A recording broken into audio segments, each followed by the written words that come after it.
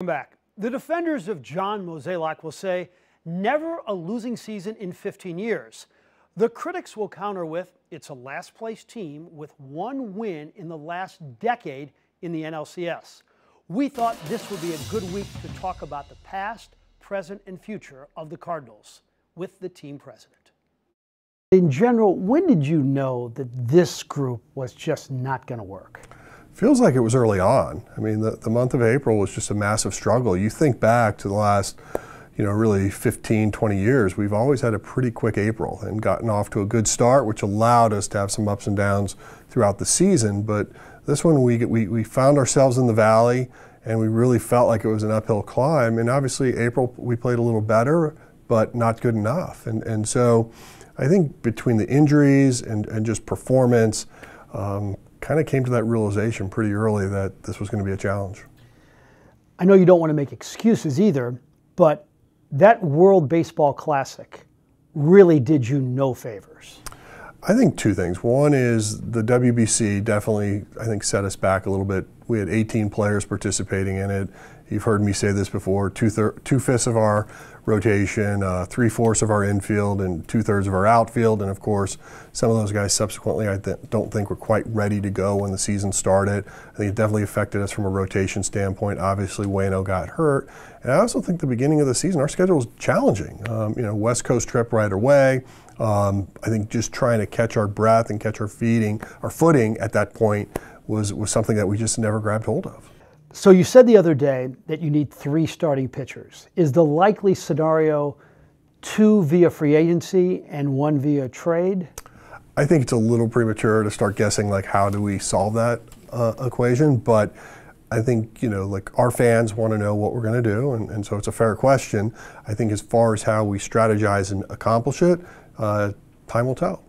Not sure how much you can reveal here, but have you chatted with Mr. DeWitt, letting him know that we are going to have to spend more. Does he already know that? I mean, can we see a significant increase in payroll this offseason? I don't think it's so much like increase relative to where, right? You're going to have some players drop off of, of this current payroll. We're going to have resources uh, to spend if we feel like we need it.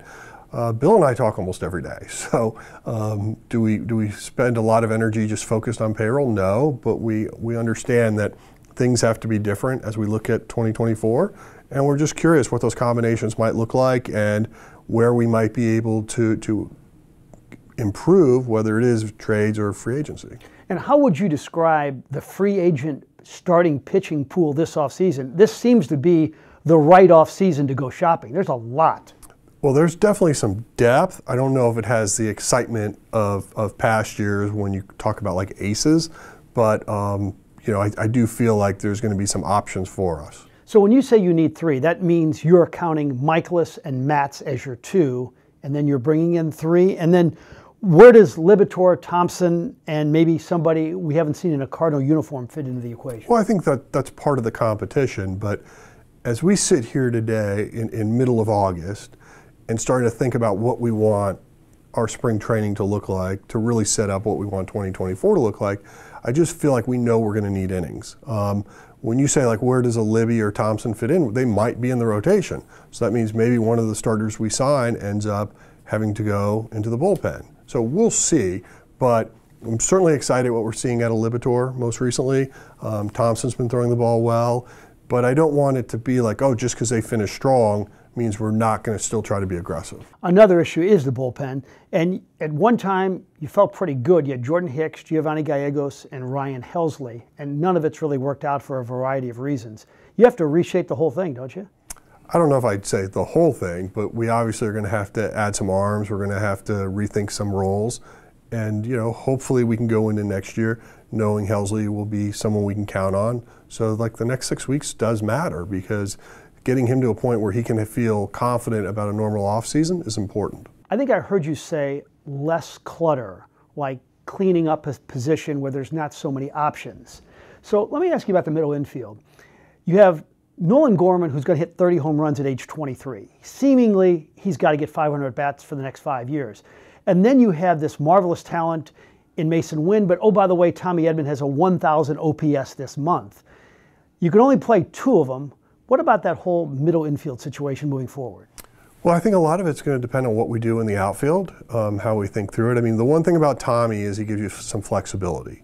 Um, so, so I think like trying to determine exactly how we split all this up is a bit premature. But clearly, someone like a Masyn Winn, uh, I, I do imagine we'll see him at some point this year, and I think that'll give us a good gauge of where we think he is in terms of can he be that everyday shortstop moving forward. Can you picture Tommy Edman as an everyday center fielder if Winn comes as advertised?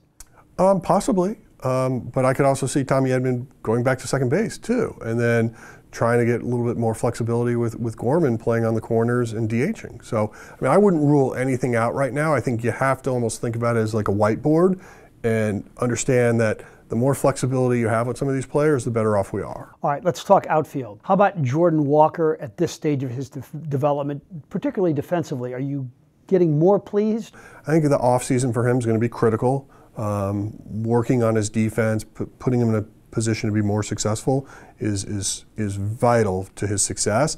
I do like where his bat's going. I think from an offensive standpoint, he's going to be that middle of the order type hitter for years to come, but we have to be patient with the defense. What about Tyler O'Neill at this stage of his career? He's really hit better since he's come back.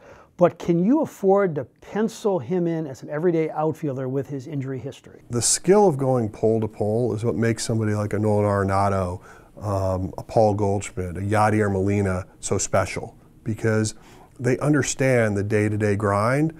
And of course, there's going to be times they don't feel great, but they still go. Pole to pole is an important aspect of, of how you think about the game. And Tyler specifically?